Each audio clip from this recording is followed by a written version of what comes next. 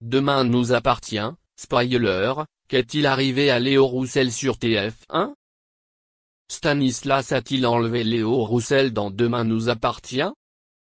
Audrey, qui s'en veut d'avoir laissé Léo sans surveillance, est persuadée qu'il se trouve chez Raphaël. Elle décide d'aller le chercher. L'avocate lui permet d'accéder à l'ensemble de la villa. Aucune trace de Léo.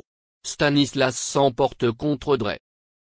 Il lui reproche d'avoir laissé Léo, dont il s'est avéré être le père biologique, sans surveillance. Audrey perd son sang-froid. Elle gifle violemment le compagnon de Raphaël. Dès lors, qu'est-il arrivé à Léo? Contrairement à ce qu'Audrey pensait, l'enfant d'Ève Roussel n'a pas été enlevé par Stanislas. Alors qu'il se rend dans sa voiture à la sortie du commissariat, Damien, Adrien Robe, découvre Léo, caché sous une couverture. L'enfant lui explique avoir fugué par crainte de devoir quitter les Roussel pour aller vivre avec son père. Damien s'empresse de le ramener chez Audrey, tout en lui assurant que Stanislas ne l'éloignera pas de sa famille.